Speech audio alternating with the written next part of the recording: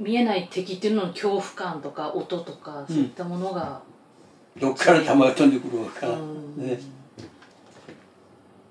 水上があるでしょ。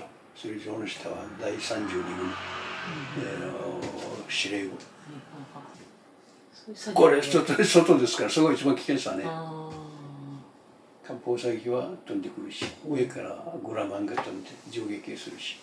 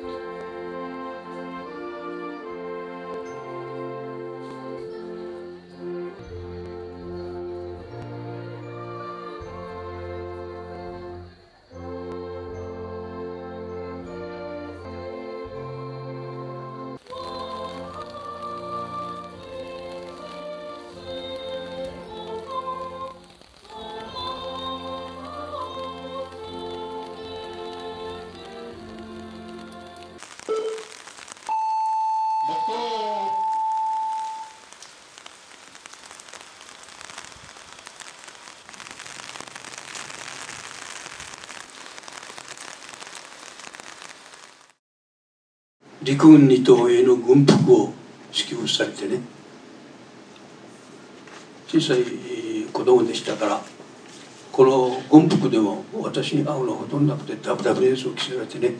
班長殿この靴は私大きくてちょっと履けません。何言うかとお前の足を軍歌に合わせなさい。その金城真一君金城龍作君二人ね。そうすべてを持っていく。だから私自身ののは真剣さ親父の総諾員をもらってこいと。